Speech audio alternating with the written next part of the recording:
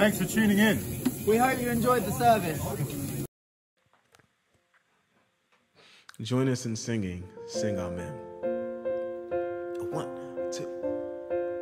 Sing, Amen, Amen, rejoice, Amen, glory.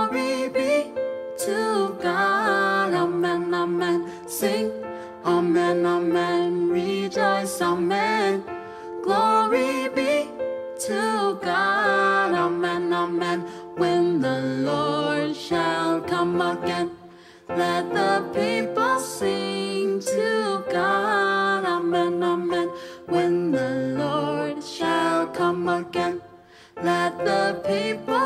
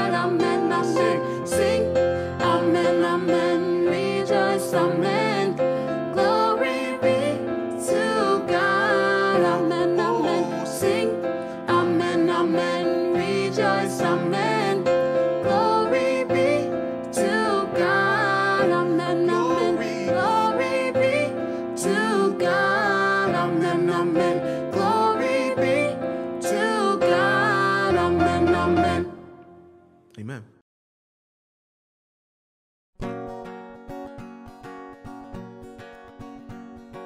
Lord, I find you in the seeking, Lord. I find you in the doubt. And to know you is to love you, and to know so little else I Oh, how I need you. Oh, how I need you.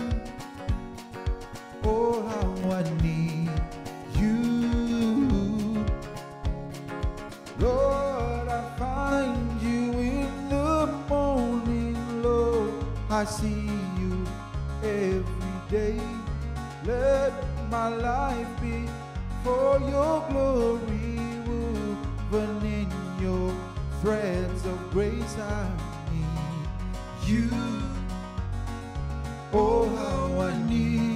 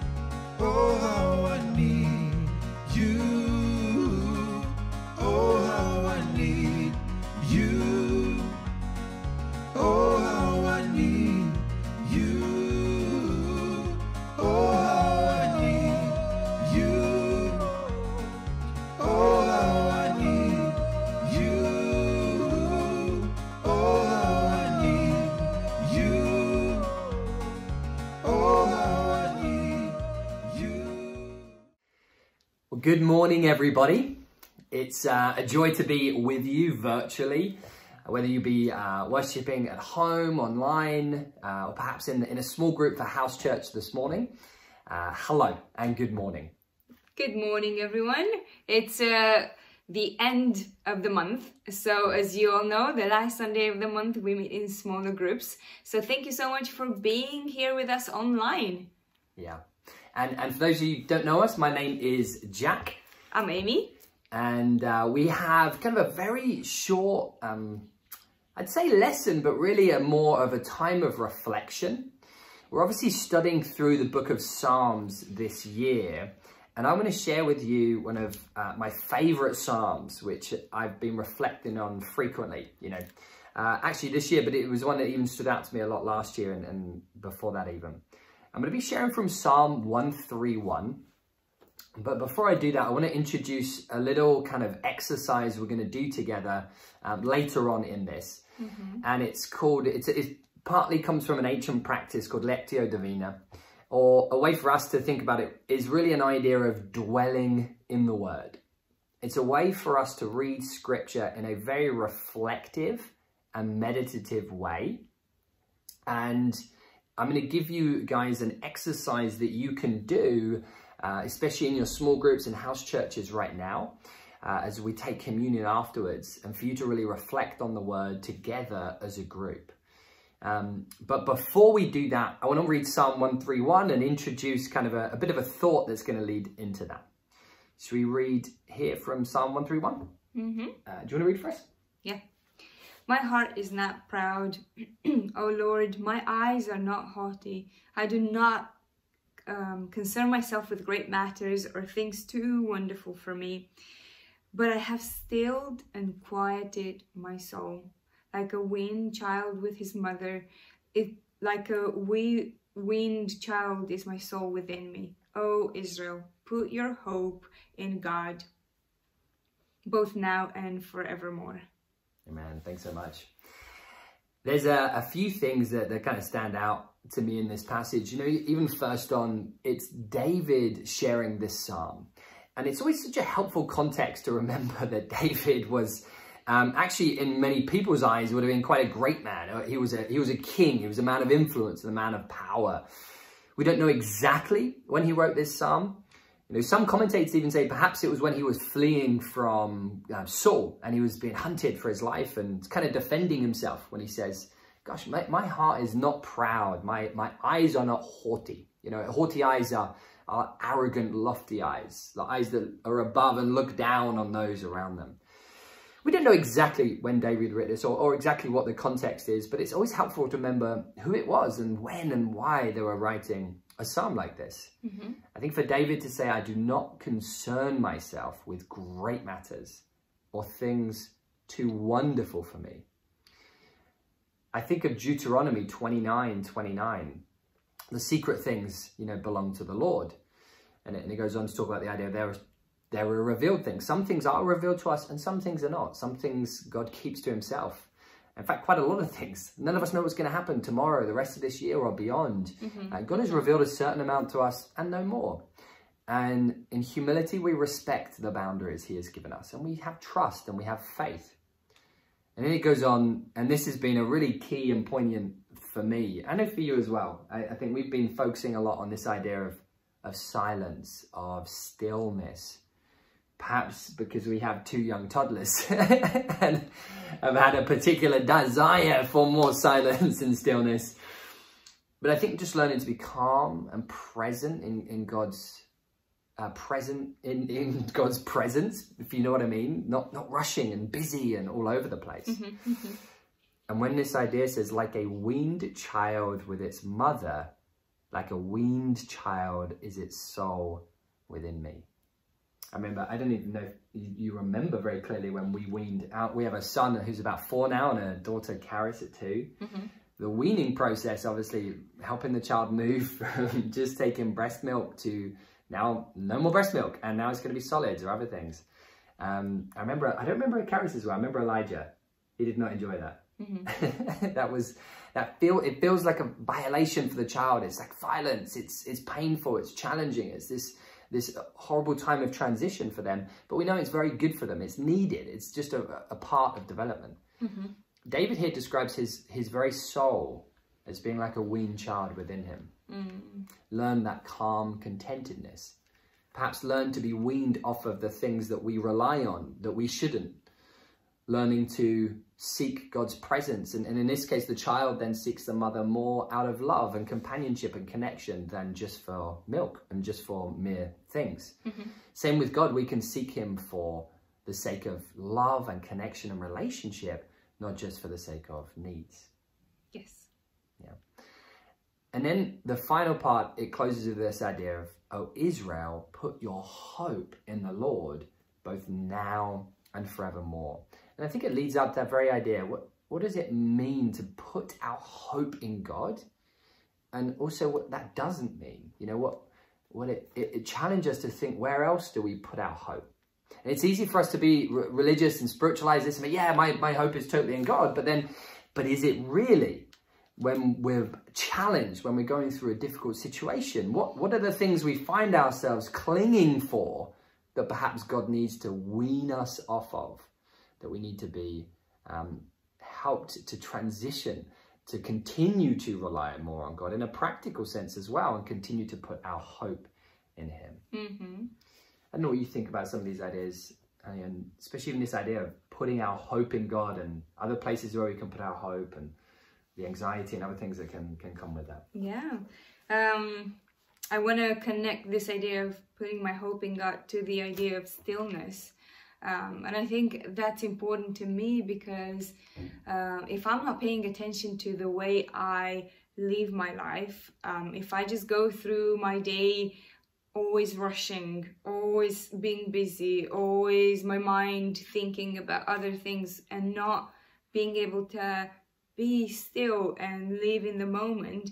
Um, there's so many things that I miss.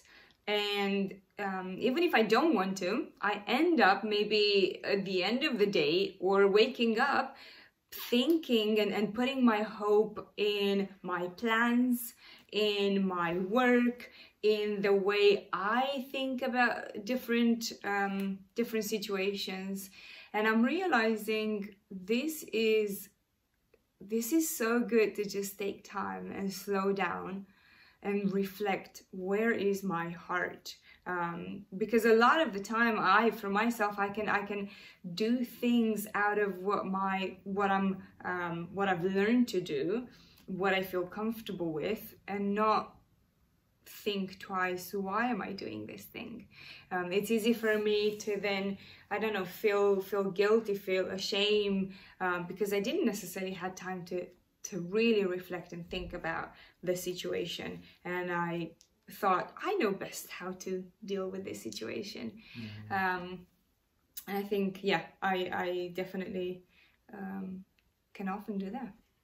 Yeah, and I'm sure so many of us can can can relate in so many ways. Um, I know for me, even I've just been more in touch this last couple of years with uh, just a, a low level anxiety that's kind of constantly there, or catching myself when my thoughts are running away, and I'm just getting really caught in my own mind of thinking about so many different things, and noticing I'm just getting really anxious, overthinking, and getting overworked about different things, and ah, the ability just to slow down and be calm and genuinely put my hope in God. For me, often it's a, a drive of perfectionism, and I'm beating myself up of something I didn't do or could have done better. I should have done this, and I'm getting worked up and feeling really guilty or heavy.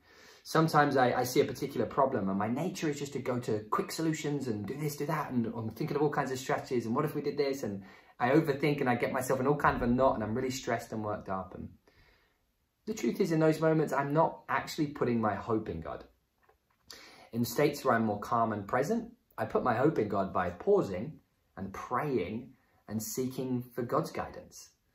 When I put my hope in God, I realize, you know what, that wasn't good. I could have done better. I, I could have done more. And often, sometimes there's an apology or something else that needs to go, and that's good. But I seek God for His grace, and I remember He's perfect and He forgives me. And that's such a peaceful, encouraging thing to remember. So, what we're going to do now, uh, as we take communion together, we're actually going to read from Titus chapter 2.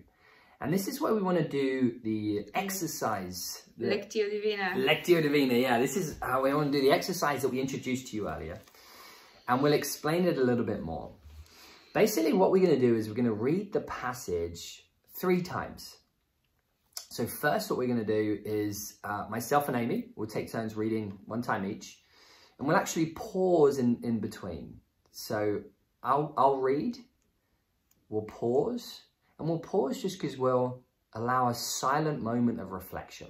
And, and I would invite you at home to do the same. If you're, if you're in a small group, perhaps just take time to sit in silence for a minute or two and allow the word to wash over you and allow yourself to reflect on the words here. And then Ami will read and, and then we'll close this time. And, and then what we'll invite you to do in your small groups is to have a final reading live in your room where you read through the passage one final time and actually go around one by one in your in your group each of you sharing a single and very simple thought of what stood out to you most. And i say simple try try to confine it to one to two sentences you know three to four max. Um, so you personally reflect. And then the final part of the exercise is as you hear someone share you reflect back what you heard the person on your right say. So maybe I would share and we'd keep going around in a circle and then eventually Ami would share and then we'd go round again. I would reflect what I heard Ami share that stood out to her from the word. The next person would share what they heard me say and so on and so forth. So I hope that makes sense. I'll read, quick pause. Ami will read. You can read in your rooms. Each of you share a quick thought and reflection and then each of you share what you heard the person to your right say. Okay, I hope that makes sense. Um, and you know what's great about YouTube? You can pause and rewind if it didn't. and if what I said just didn't make sense, then I, I sincerely apologize. All right, so we're going to be in Titus, um, Titus chapter 2, and we're going to read from verses 11 to 14. Mm -hmm. So I'll read, we'll pause, and then you can read. For the grace of God that brings salvation has appeared to all men. It teaches us to say no to ungodliness and worldly passions and to live self-controlled, upright and godly lives in this present age while we wait for the blessed hope, the glorious appearing of our great God and Saviour, Jesus Christ, who gave himself for us to redeem us from all wickedness and to purify for himself a people that are his very own, eager to do what is good.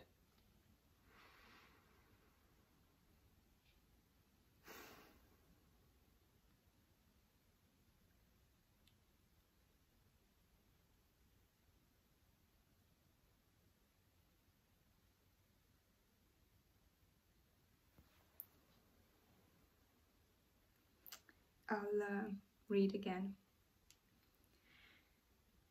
For the grace of God that brings salvation has appeared to all men. It teaches us to say no to ungodliness and worldly passions and to live self-controlled, upright and godly lives in this present age. While we wait for the blessed hope, the glorious appearing of our great God and Savior, Jesus Christ, who gave himself for us to redeem us from all wickedness and to purify for himself a people that are his very own, eager to do what is good. Dear Father God, um, thank you for your word, Lord. Thank you for your love, your care, your guidance. God, I know we can so often be so busy and rushing around and sometimes just busy in our own thoughts and our heart. And there are so many things competing for our time and attention in the world around us.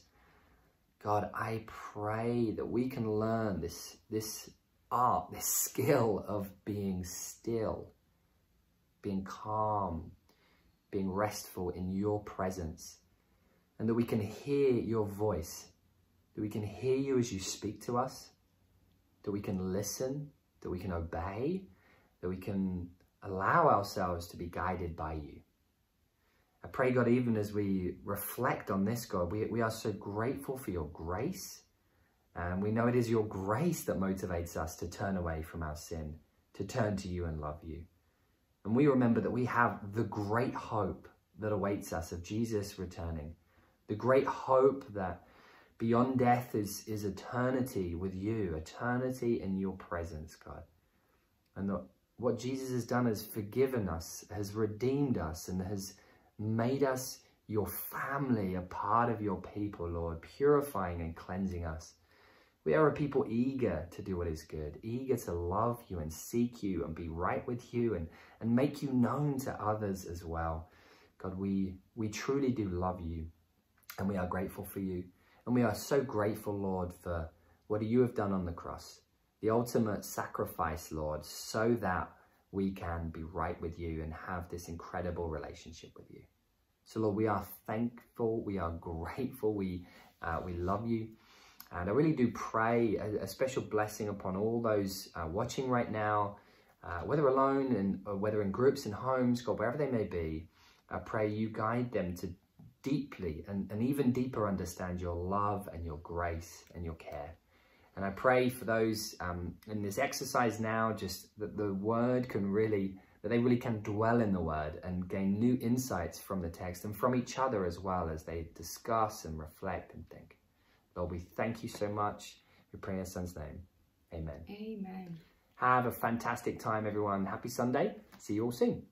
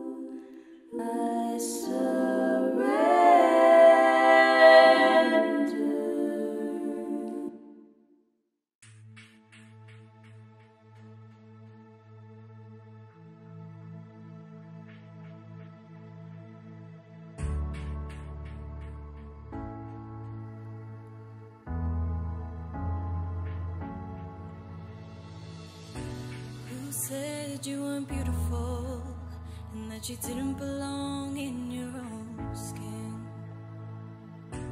Who said you were all alone and that you're never gonna find love again? So many little words, so many little lies that have followed you all of your life. Looking for the truth, look into your eyes, and you'll see it's been there.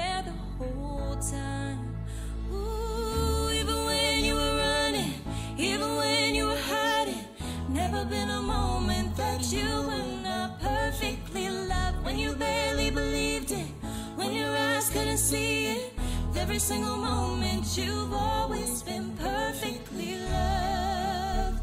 Ooh, perfectly loved.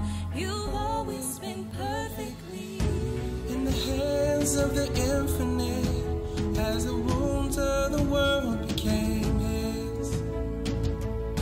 See the kindness heaven has for you And how he's always been drawing you